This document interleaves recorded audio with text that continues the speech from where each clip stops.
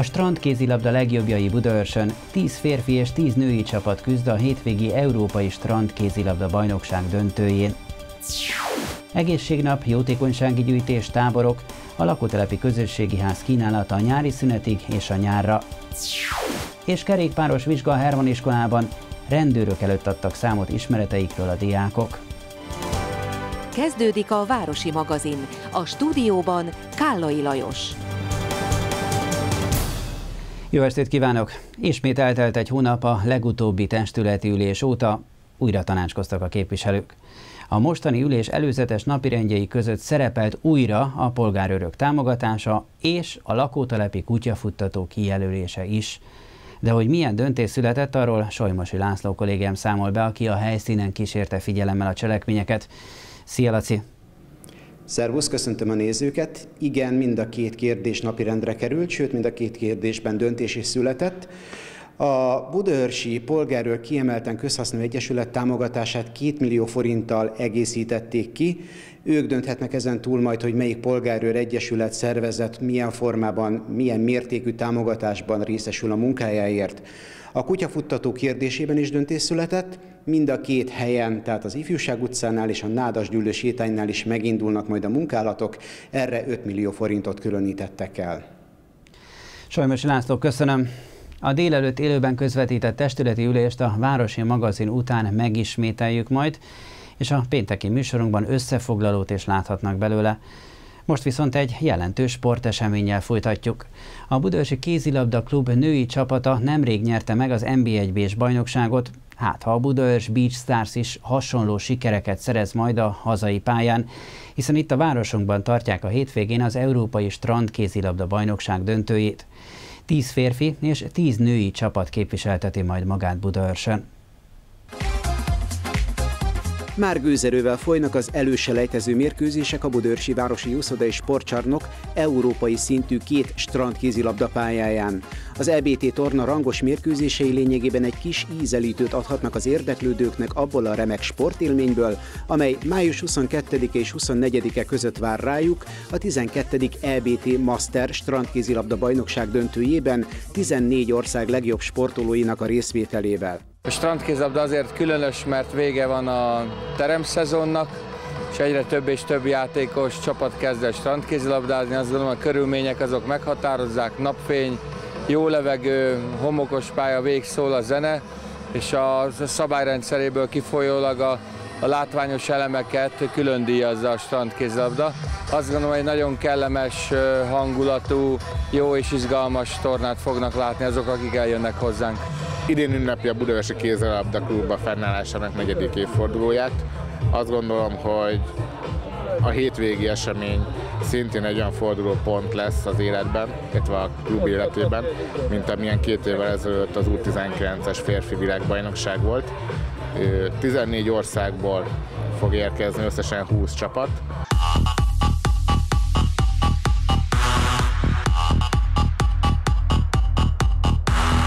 Az, hogy ilyen nagy esemény, tehát egy európai kupa döntőt tudjunk rendezni, ez ennek hosszú éveknek kell eltelni, mire újra oda juthatunk, hogy Európában Magyarországot, azonban is Budaörsöt választják. Ugyanakkor ami most zajlik, ez az úgynevezett EBT torna, ezt minden évben fogunk rendezni egy ilyet, ahol külföldi csapatok is pontokat gyűjthetnek, és tulajdonképpen ilyen tornákon kvalifikálhatják magukat arra a döntőre, amit most hétvégén rendezünk Budaörsön. Bár a sportág még nem eléggé ismert, ennek ellenére egyre népszerűbb, elsősorban dinamizmusának, gyorsaságának és látványos technikai elemeinek köszönhetően. Túl nagy publikációja nincs, de Magyarország most már közel 10 éve a strandkézlabdában a világ élvonalában, élvonalában tartozik. 2004-ben vettek részt először válogatott csapatok világversenyeken, azóta nyert már magyar válogatott Európa-bajnokságot, ezüstérmeket világversenyeken, és klubcsapatok is jeleskedtek, hiszen a tavalyi évi EBT döntőben a nőknél a magyar csapat diadalmaskodott, és korábbi években pedig a Budapest Beach Stars fiú csapata, ugyan még más név van, de ő is már nyert, megnyerte ezt a tornát kettő alkalommal. A lehetőség most is adott a magyarok előtt. jó eséllyel indulnak a dobogós helyezésért a Master torna döntőjében. Mindenképpen győz, győzni jöttünk, ugye? A mostani EBT tornát felkészülésnek szánjuk a Mastersre. Szeretnénk itt is ugye jó eredményt elérni, de nem az eredmény a fontos, hanem hogy minél jobban összeszokjon a csapat, és ezáltal minél jobb eredményt el tudjunk érni a Masters-en.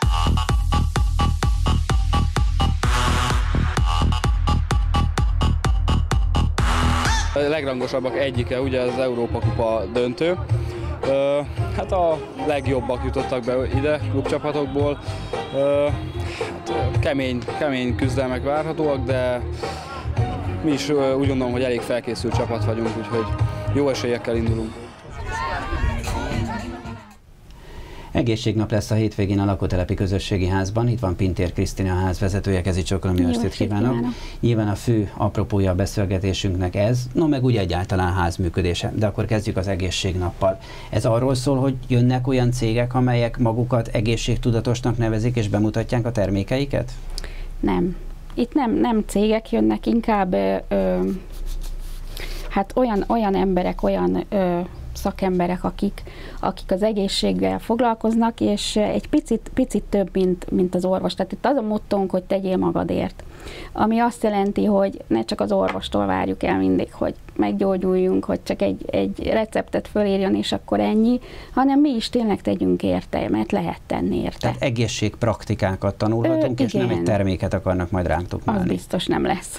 Miről szól akkor pontosan ez a nap? Igen, hát úgy kezdünk 9 órakor, hogy egy napüdvözlet jogával, utána lesz az intim torna, ami szintén nagyon fontos így a, az egészségben, a gyógyszerek mellett akár, aztán lesz 11 órától lesznek olyan előadások, illetve, illetve egyéni kezelések, ahova, ahova szeretettel várjuk az érdeklődőket.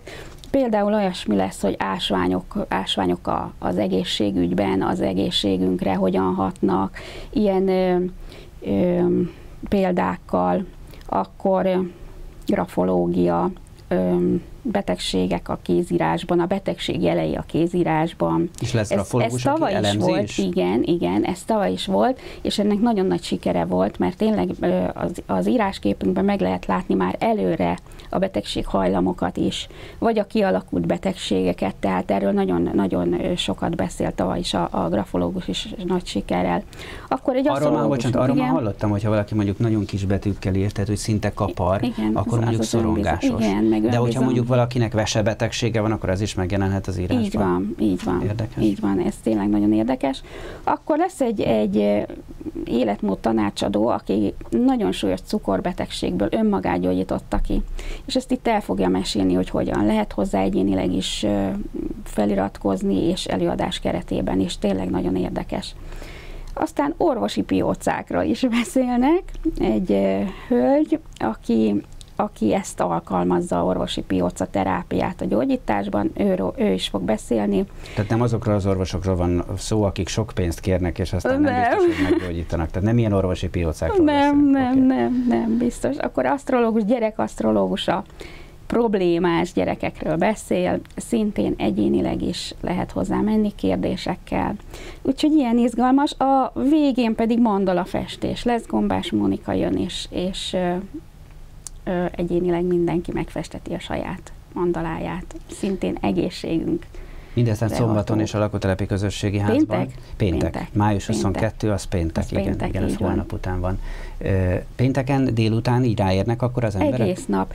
Hát tavaly két napos volt, péntek-szombat, és sokkal erősebb volt a péntek, mint a szombat.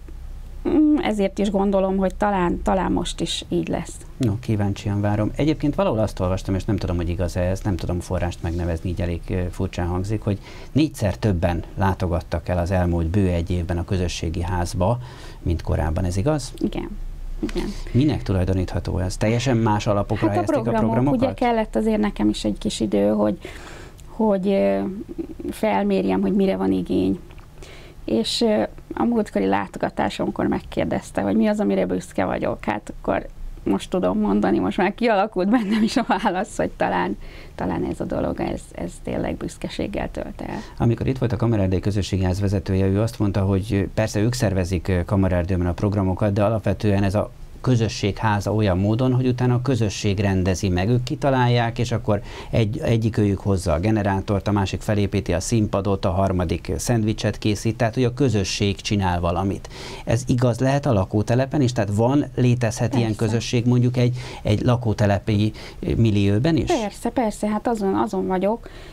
Most például egy hölgy, aki nagyon szeret gyöngyöt fűzni, és nagyon gyönyörűen ilyesmiket készít, ő eljött hozzánk, és megtanította a, a látogatóinknak, érdeklődő látogatóinknak ezt a gyöngyfűzésnek a technikáját.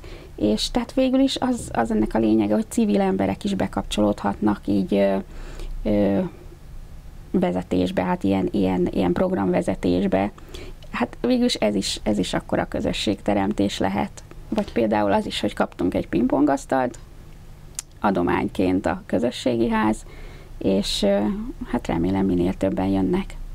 És akkor ez azt jelenti, hogy szeretnék pingpongozni, akkor leugrom a közösségi házba? Akár, De hát ott nincs mindig igen. felállítva, vagy, vagy föl van állítva? Hát ez összecsukható. Összecsukható, és, és ott van az ajtónkba, tehát egy mozdulattal. Ha éppen nincs kirakjuk. rendezvény, akkor lehet pingpongozni. Ha van, kint, akkor... Kint az udvaron. Kint az Tehát udvaron. Ott, ott meg nem igazán van semmilyen Hát ha jó idő van, igen. Igen, ha jó idő van. Azt is lehetett hallani, hogy aláírásgyűjtésbe kezdtek, főleg kismamák, hogy hát az emeletre, ahol a idézőjelben lévő kis nagy terem van, nem lehet feljutni, mert hogy nincs lift, nincs mozgássérült lift, nincs rámpa, tehát babakocsival kerekesszékkel szinte lehetetlen megközelíteni a hát közösségi nem csak az házat. emeletre, hanem a földszintre sem Oda is van három vagy négy lépcső, hogy igen, egyáltalán valaki bejusson. Igen, igen. Ez ügyben történik valami? Hát most úgy néz ki történik, most még nem akarom elszólni, mert, mert kim voltak már kivitelezők is megnézték, ígéret van rá, de most még tényleg hagyd nem mondjak semmit, mert majd ha, majd ha már megvan. Tehát akkor szó van a házakadálymentesítésről. Szó Holott igen. korábban arról is hallani lehetett, hogy teljesen új alapokon építi a város újjá a közösségi házat, tehát kibővíti, és egy gyakorlatilag teljesen új közösségi igen. ház épül, de ez aztán pénz hiányában egyelőre megakadt. Hát igen, meg most a nyugdíjas ház, ami fontosabb. És most ugye az tehát közösséges bővítés egyelőre nincs napirenden, de akadálymentesítés akkor igen, az, vagy az lehet. nagyon fontos, az tényleg nagyon fontos, tehát ez, ezt belátták, mindenki belátja, hogy, hogy erre szükség van. Itt a nyár, itt a jó idő, lehet pingpongozni a közösségi ház melletti parkban, és lesznek táborok is. Egész napost hirdettünk, aztán ö, valahogy a, a délelőtti jobban ment, jobban, jobban keresett volt. Gondolom azért is, hogy ár miatt is olcsóbb volt, meg úgy látszik, hogy elég a, a tanulóknak, vagy a gyerekeknek a, a délelőtti foglalkozás. Úgyhogy ezt most is így, így állítottam össze. 9-től 2-ig, 2-ig, igen, 2-ig van június 29-től egy, egy ötnapos műzikel tábor, ahol a, a jelentkezők táncolni és énekelni is tanulhatnak. És be is mutatják utána be az egy hét után? igen, Hol, hogyan? tanultak. Ott nálunk, ott a szülőket is meghívjuk ilyenkor, és akkor a ötödik nap végén bemutatják, amit tanultak. Ki vezeti majd ezt a tábort? Tehát ki, ki, ki, kitől, kiktől tanulhatnak? Barabás Rikának hívják a színésznőt, aki tartja, és a, az éneket, a táncot pedig, aki most is, most is a táncsoportunkat vezeti, uh-huh. Horváth Mester Henriett. Nézem itt a jegyzeteimet, hogy de olyat is hirdettek, hogy élmény, élményrajz, önismereti Igen, foglalkozás, musical, jazz tánc, akkor, akkor ez, amiről szó volt, és spanyol nyelvi alapok, felnőtteknek is, felnőtteknek is lesz tábor? Igen, tehát ez úgy van, hogy, hogy amit az előbb mondtam, az július 29-től, ez pedig július 6-ától. Tehát akkor ez még korábban is lesz? Bocsánat, június 29 június, volt, igen. és ez pedig július 6. Világos, tehát utána. Tehát, tehát utána, igen, igen. Ez egy olyan, olyan táborszerű foglalkozás, amit lehet egybe is igénybe venni, tehát a spanyol, a tánc és a, az élményrajz, vagy pedig úgy, hogy külön-külön, mert úgy is van ára. Uh-huh.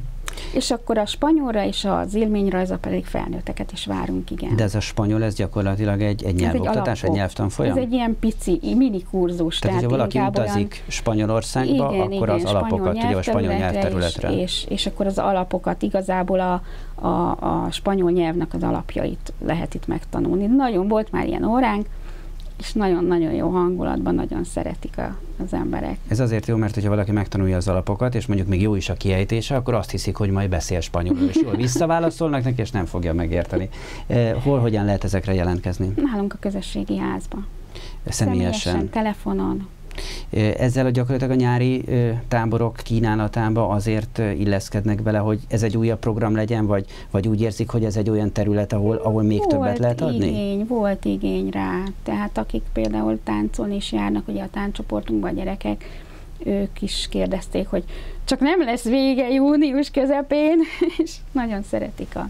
Egyébként be is fognak mutatkozni a Jókainak a gyereknapján, május 31-én 13 órakor ez a tánccsoport bemutatkozik a, a gyereknap végén. Amikor legutóbb itt volt, vagy talán korábban, akkor azt kérdeztem, hogy mi van, hogyha egy baráti társaság szeretne valahol összejönni, kártyázni, beszélgetni, akkor erre alkalmas helye a közösségi ház. Azt mondta, hogy tulajdonképpen igen, feltéve, ha van hely. Igen. Most hogy állunk ezzel? Vannak ilyen megkeresések? Vannak, mindig vannak.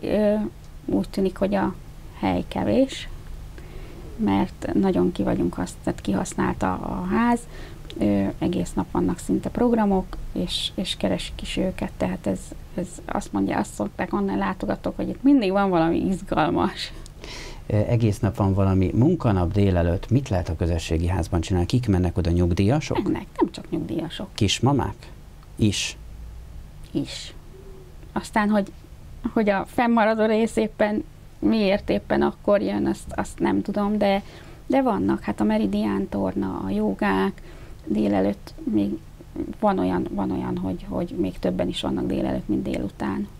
Ha belépünk a közösségi házba, akkor ott mindig látom, hogy kupakgyűjtés van. Ez Igen. régen nagyon nagy divat volt, főleg az iskolákban, de most valahogy ez úgy, ez úgy alább hagyott.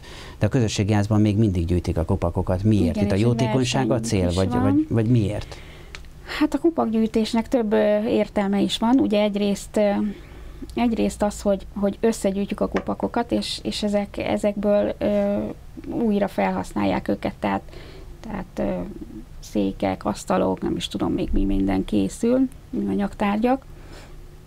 És hát ö, a másik az, hogy, hogy ö, adományozunk vele, mert mi például egy kislánynak gyűjtünk, egy beteg kislánynak, betegen született kislánynak, akinek az őssejt terápiájához szükség van pénzre, és a nagypapa úgy gyűjti össze ezt a pénzt, hogy kupakokat gyűjt. Tehát nem oda megy, hogy most pénzt kérek az emberekhez, hanem kupakokat gyűjt, és ezzel, ezzel hát nem csak az unokájának segít, hanem ugye a környezetvédelem, az is nagyon...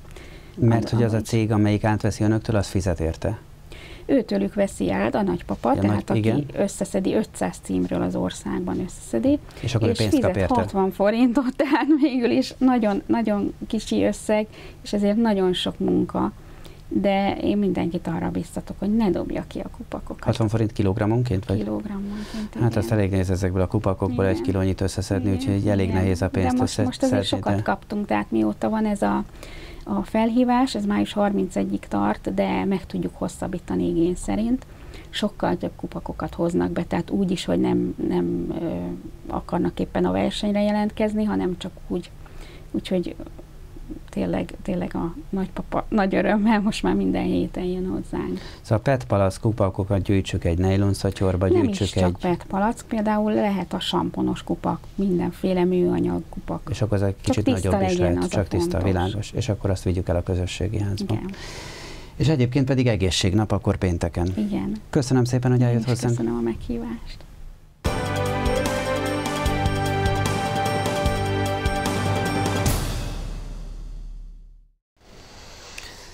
Az általános iskolában megtanulják a gyerekek például, hogy milyen egy gúla, vagy hogy hogyan kell érintőt szerkeszteni, de azt nem, hogy hogyan kell kerékpározni. Igaz, már nem sokáig.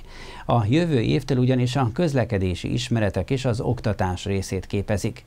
Megelőzte ezt a Herman iskola, ahol már 15 éves hagyománya van a kressz oktatásnak, sőt 2008 óta kerékpáros vizsgákat is tartanak. Idén a rendőrségtől hivatalosan kirendelt vizsgabiztosok előtt mutathatták be tudásukat a nyolcadik osztályosok. A feladat nem volt könnyű.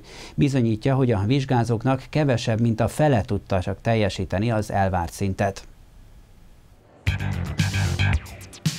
Egy kis pedáligazítás, koncentrált rákészülés, és már indulhatott is a vizsgázó a Hermanotto általános iskola tornacsarnokában. A Nemzeti Alaptanterben eddig nem szerepelt a közlekedésre nevelés az általános iskolákban. Tavalyi évtől kezdődően az Emberi Erőforrások Minisztériuma a harmadik, negyedik és az ötödik, hatodik osztályosoknak egy külön óraként a Bringa Akadémia címmel beemelte, tehát egy választható tantárgyként a gyermekek ebben, ezekben az osztályokban választhatják a közlekedési ismereteket. Azonban a rendőrség több éve harcol azért, hogy az általános iskolákban kerüljön oktatás oktatásra alapszintű közlekedési ismeret, hiszen a gyermekek már nem csak gyalogosan, ebben a korcsoportban már kerékpárral is közlekednek, részt vesznek a közúti forgalomban, amikor már járművezetőnek minősülnek. Itt már a szabályismeret elengedhetetlen. Szükséges az alapvető táblák ismerete, a forgalomban részvétel alapvető szabálynak megléte. Ennek a törekvésnek egyedülálló módon már évek óta eleget tesz a Herman Otto általános iskola, sőt idén a 8. osztályos tanulók egy komolyabb tesztlap kitöltése után gyakorlati pályán is számot adhattak tudásukról a rendőrségtől kiküldött vizsgabiztosok előtt. Már a 2000-es évek eleje óta gyakorlatilag a közlekedési ismeret nálunk külön tantárgy. Most a köznevelés új rendszerével modullá vált, de mi a Hermanban azért megtartottuk azokat a hagyományokat, amik eddig jól működtek. Pető Zoltán kollégám Pest megyei szinten is elismert szakember a közlekedési ismeretek tanításának, és hát ide hoztuk ezt a vizsgát először Pest megyében. Én remélem, hogy azért a többi iskola is átveszi majd a példánkat, de itt a Hermanban ezt különösen komolyan veszük, és megpróbáljuk Pető Zoli nyomdokán ezt folyamatosan csinálni. Több mint tíz éve tehát, vagy azt mondom inkább már másfél évtizede külön tantárgya közlekedési ismeretek, és körülbelül 2008 óta minden évben tartunk kerékpáros vizsgát. Nagyon-nagyon sok baleset van az utak, közutakon, és a balesetek elszenvedői gyakran gyerekek, és nagyon gyakran kerékpárosok. Gondolom, hogy az autósok is gyakran találkoznak azzal a jelenséggel, hogy a kerékpárosok idegesítik őket, őket, és ennek egyik fő oka az, hogy igazából ők egy kicsit kívülállóként érzik magukat a közlekedésből. Én azt gondolom, hogy azok a gyerekek, akik itt vizsgáznak most, azok megtapasztalják, hogy ez nem így van, és jó partnerei lesznek majd a közlekedésben bárkinek. Ehhez persze elméletileg és gyakorlatilag is a toppon kellett lennie a vizsgázóknak, méghozzá úgy, hogy a teszt is nehezebb volt a megszokottnál, és a pálya sem volt könnyű.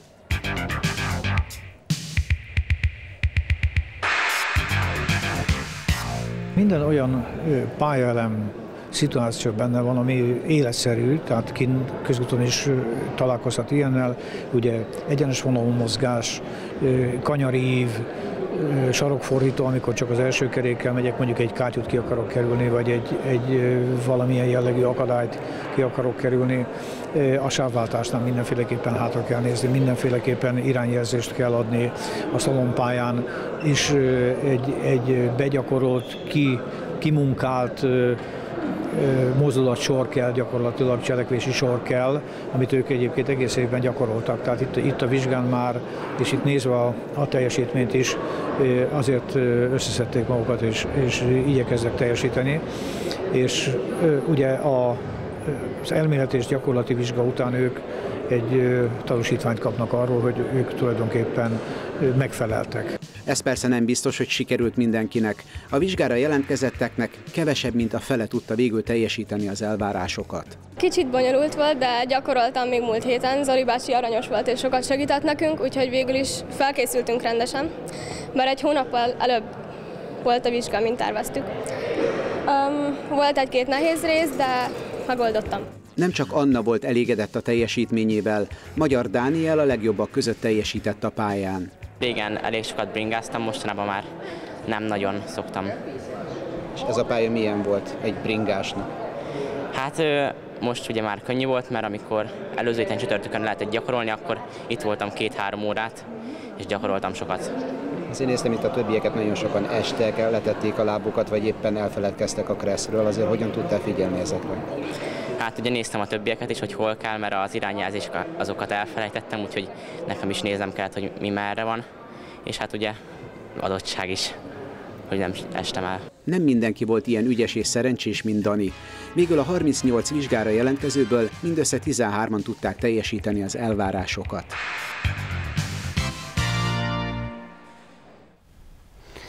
Ahogy ígértem a műsor elején, a Városi Magazin után most mindjárt kezdődik a délelőtt élőben közvetített testületi ülés ismétlése, de még előtte tekintsék meg, hogy milyen szabadidős és kulturális programok lesznek a következő pár napban.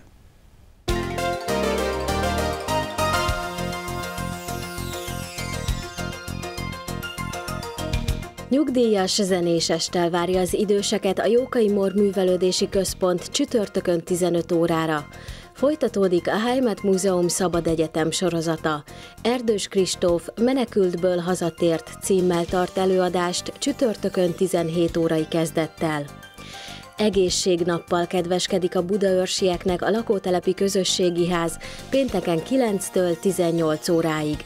A programsorozat jóga foglalkozással kezdődik, lesz grafológia, reflexológia, gyerekasztrológia és sok más érdekesség. Érdeklődni a képernyőn látható telefonszámon tudnak.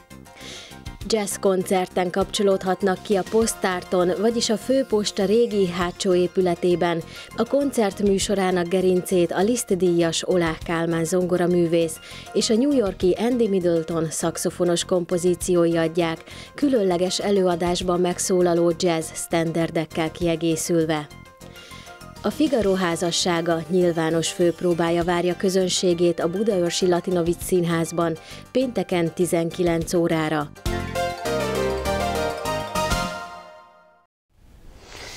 És akkor mutatjuk telefonszámunkat, e-mail címünket, elérhetőségeinket, hívhatnak bennünket, írhatnak nekünk, ha van véleményük, például a mai témáinkkal kapcsolatban is.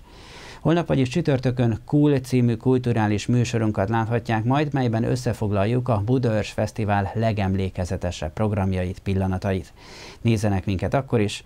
Én köszönöm már a megtisztelő figyelmüket. Városi magazin legközelebb pénteken lesz. Viszontlátásra!